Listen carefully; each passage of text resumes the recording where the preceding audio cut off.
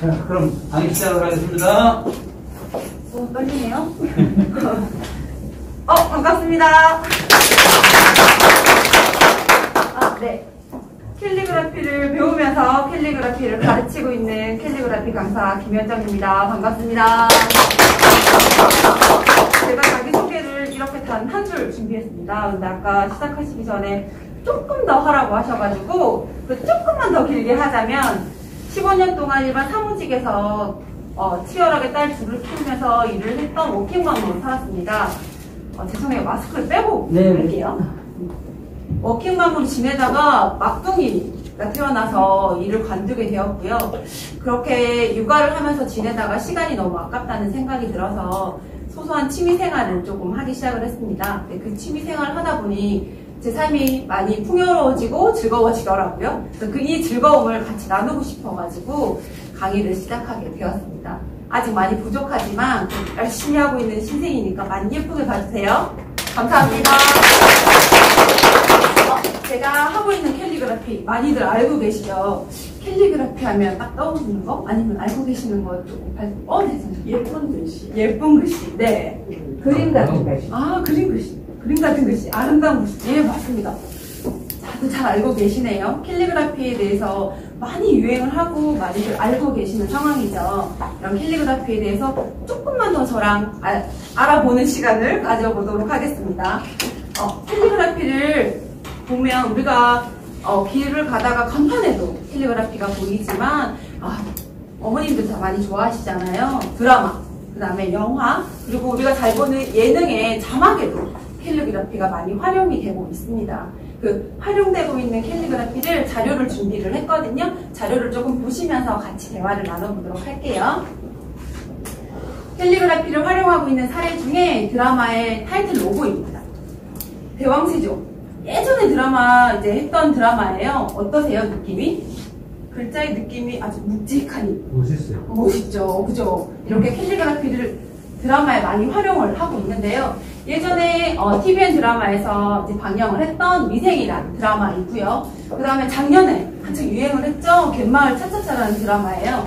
이걸 보면서 제가 설명을 드리면 차차차를 잘 보시면 사람의 모형이 그냥 볼 때는 아마 차차차를 보시다가 제가 이렇게 차차차가 사람 모형이에요 라고 말을 하고 나면 수험생 분들이 그다음부터 이제 드라마의 타이틀을 다 보고 다니십니다.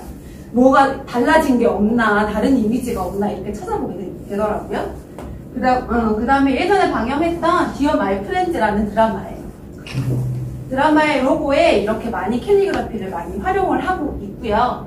그 다음에 우리가 잘 보는 영화죠. 어, 예전에 했던 영화예요. 괴물. 타이틀에서 약간 좀 스산한 분위기가 나나요? 음. 그 다음에 최종병기 활이라는 영화예요. 영화의 이 활, 이 글자는 캘리그라피를 활용해서 한 로고 중에 가장 손꼽는 로고라고 보시면 될 것 같아요. 아주 느낌을 영화를 보신 분들은 아시겠지만 굉장히 잘 살려서 타이틀을 하셨거든요. 그리고 아마 안 보신 분들 없죠? 어, 이건 안 보신 분들이 없을 거라고 생각이 듭니다. 기생충이에요. 이런 그냥 단순한 글자처럼 보이지만 자세히 보시면 굉장히 화려한 캘리그라피를 많이 활용해서 작업을 하신 거거든요.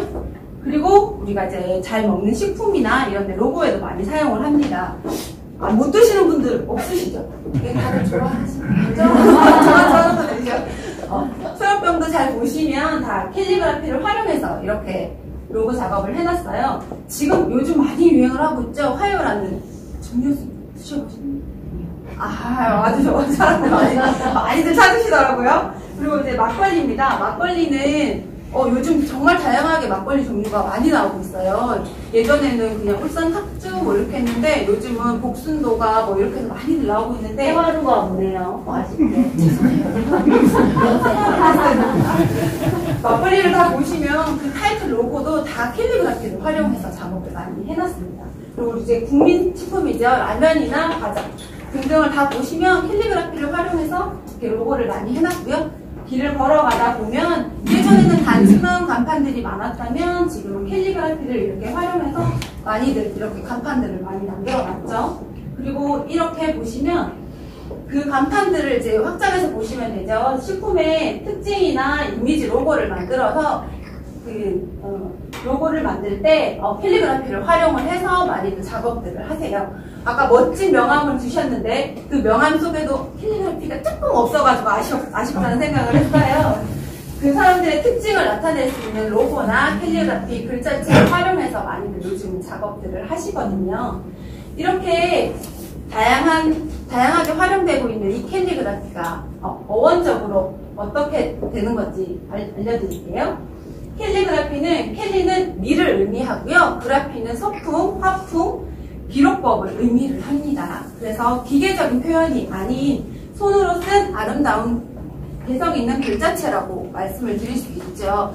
이거는 캘리그라피를 검색하면 다 나오는 이제 네이버나 다 잊었을 때 나오는 이제 기본적인 의미를 뜻하고요. 캘리그라피를 잘 보시면 어떤 글이나 문구를 표현하고자 하는 감정을 그 글자에 담아서 읽는 사람으로 하여금 그 느낌을 같이 그 감정을 같이 느낄 수 있게 하는 작업이라고 생각을 하게 되거든요.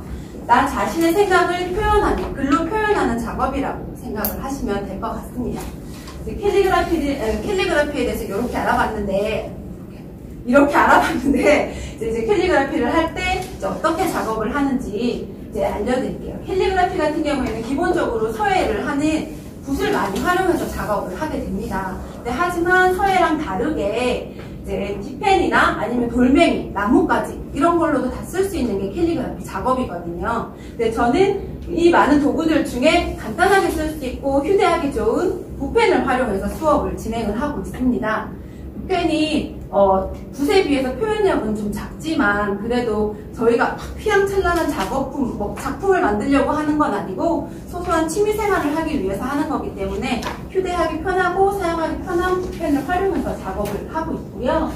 수업을 하면서 작은 그냥 일반 종이컵도 작은 문구를 써서 마시면서 한 문구 한 번 보고 자기 전에 무드등에 써놓고 무드등 자기 전에 한 번 읽어보고 여기서 작업이라든지 이렇게 캔버스 작업도 많이 활용을 해서 수업을 진행을 하고 있고요. 이거는 슈링클이라는 마법 종이가, 종이에요. 이렇게 오그라드는 종이거든요. 보통 아이들한테 수업을 많이 하는데 어른분들한테 캘리그라피 작업을 해서 열쇠고리를 만들었더니 들고 다니면서 한번 볼 수 있고 내가 만든 걸 선물할 수 있어서 너무 좋다고 말씀들 많이 하시더라고요. 이런 소소한 작품들을 만들면서 저희가 지금 수업을 진행을 하고 있어요. 아, 저 수업은 그렇게 진행을 하고 있고요. 캘리그라피는 이렇게 어떤 문구나 문장을 쓸 때 내가 문장을 어, 드라마에 좋은 문장이나 어떤 책을 아까 책을 많이 읽어 도서관에 가야 된다고 말씀하셨는데 어, 도서관에 가서 읽었을 때 좋은 책을 읽었을 때 마음에 드는 문구나 이런 걸 쓰면서 많이 작업을 하게 돼요. 이런 용어의 문구나 좋은 글을 쓰다 보면 나 스스로도 그 글에 위안을 받을 때가 많이 있거든요. 그 위안을 받으면서 나도 그 시간이 힐링이 된다고 생각을 하고 있어요. 힐링 작업을 하면서 아마 하시는 분들은 다 그 시간이 충족, 충만스럽고 풍요로운 삶이 되지 않을까라는 생각을 하게 됩니다. 또 아마 음, 마지막 저의 인사는 이유입니다. 매일 행복하진 않지만 행복한 일은 매일 있습니다. 우리 선생님들한테도 행복한 일은 매일 있을 거라고 생각이 듭니다. 그 행복한 오늘이 아, 오늘이 그 행복한 시간에 포함이 되었으면 좋겠습니다. 다음에는 좋은 문구를 쓰면서 함께 할 수 있는 시간이 되었으면 좋겠고요. 오늘은 여기까지 감사합니다.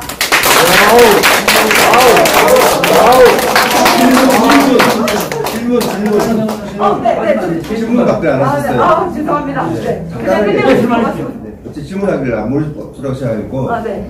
그 제가 보니까 텔레그래프가 오프라인에서 하는 거잖아요. 네네. 온라인에서 스마트 태블릿을 이용한 네. 요즘 필압이 되기 때문에 네네. 그런 강의도 하시는지. 어, 어, 지금 중으로도 지금. 아니, 그런 거 말고요. 지금 패드나 네네. 태블릿이 있는데 요즘에 필압 기능이 있어서 네. 펜에 아, 네네. 디지털 캘리도 많이 네. 지금 작업을 하고 있는데, 그 쓰는 피랍이나 압력은 본인이 쓰는 거에 따라서 분명히 다들 차이가 있어요. 근데 패드를 쓸때 어떻게 이렇게 약간 이렇게 힘을 주세요. 여기선 살짝 빼세요. 이런 강의를 하면서 수업을 진행하시는 분들도 많이 계셔서, 네, 디지털 수업 당연히 가능합니다. 네네. 그 부분을 좀 활용을 하면은 네네. 타 강의와 차별화된 강의가 될 것 같아요. 네. 열심히 해서 다음에 할 수 있도록 노력하겠습니다. 네, 또 질문 혹시 있으신 분? 감사합니다. 없어서.